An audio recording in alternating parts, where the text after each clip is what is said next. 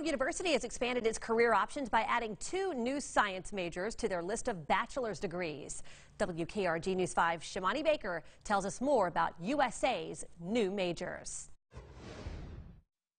Right, South Alabama now has a marine and environmental science major for undergrad students. The university welcomed 28 new students to their first ever marine science major class Tuesday morning. Originally, South Alabama only offered minor and master programs in these fields, but in March, they were approved to finally add the major. The marine science major offers a semester by the sea where students will take classes at the Dauphin Island Sea Lab to gain hands-on experience. Tabor Smith was originally a biology student concentrating in marine sciences at South Alabama, but with the newly added marine science major, he can solely focus on his dream career. He says it's not just a good thing for him, but future students as well there wasn't a major, so that was kind of a bummer to me. But now that we have that, that's going to be a great marketable thing. We are the closest to the coast and the closest to the Sea Lab, so why would you why would you not go to South Alabama now?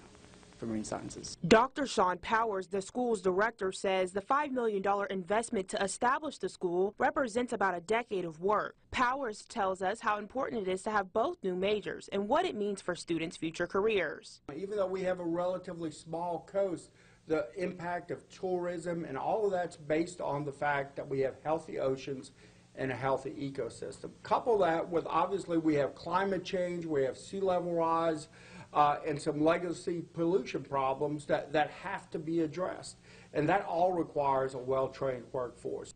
Marine science instructor Dr. Amy Sprinkle says having this new major will allow students to connect with the coastal community and realize what they do matters to the marine ecosystem. Collaborations with local organizations, international travels, and Sea Lab training are just a few of the opportunities the degree in marine science will provide for interested students. Reporting from the University of South Alabama, Shamani Baker, WKRG News 5.